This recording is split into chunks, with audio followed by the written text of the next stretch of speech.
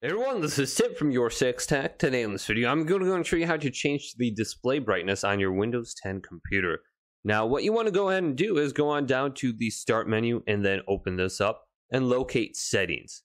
And then select this. Now, go over to where it says System right here and select this on the top left. Then go to Display, Monitors, Brightness, Nightlight Display Profile, and select this. Then scroll on down under this list until we get to Advanced Display. Display information, refresh rate.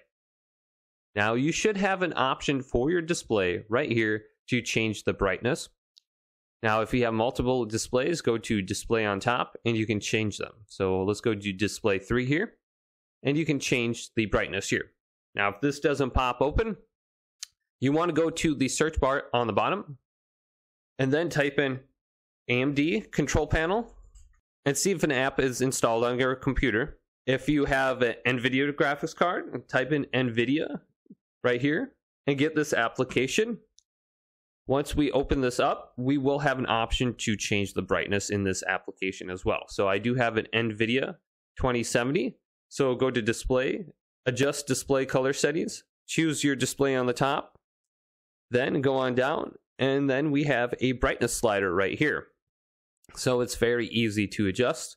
Once you adjust the brightness, the contrast, the gamma, we can go to apply and those should take effect now. So hopefully this video did indeed help you out. Did leave it a big thumbs up and subscribe to my channel down below for more tech videos coming up next on Your Six Tech.